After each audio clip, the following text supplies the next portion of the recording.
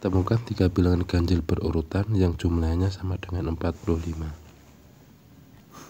Kita menamakan bilangan ganjil pertama adalah A. Bilangan ganjil kedua adalah A plus 2. Dan bilangan ganjil ketiga adalah A plus 4. Sama dengan 45. 3A plus 6 sama dengan 45.